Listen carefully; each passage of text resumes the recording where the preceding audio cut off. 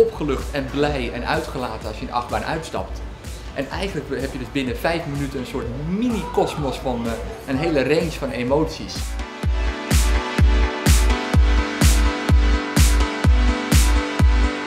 Astma is een serieuze ziekte waarbij je eigenlijk last hebt dat je longen langzaam dicht kunnen. Uh, daardoor kan je niet ademhalen. Maar de beleving van mensen is dus dat ze dan zich benauwd voelen. Ik voel me benauwd en je hebt een daadwerkelijke fysieke vernauwing van de longen.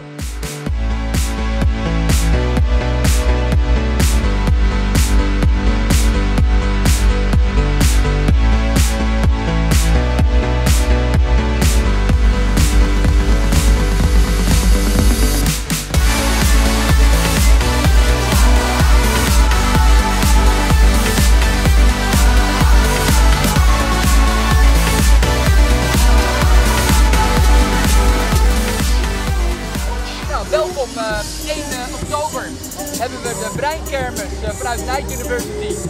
Daar gaan we op een unieke manier om met de wetenschap. We gaan het hebben over wat beweegt een team, maar we gaan het ook hebben over wat beweegt een topsporter. En we hopen vooral veel te lachen en veel van elkaar te mogen leren.